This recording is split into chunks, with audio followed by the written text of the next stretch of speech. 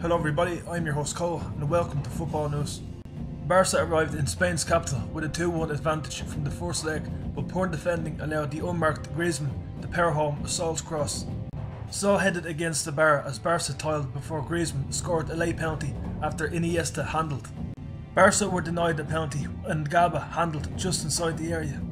The defeat ended Luis Enrique's hopes of securing a La Liga, Champions League and Copa del Rey treble, while Atletico joined Bayern Munich, Manchester City and Real Madrid in Friday's semi-final draw.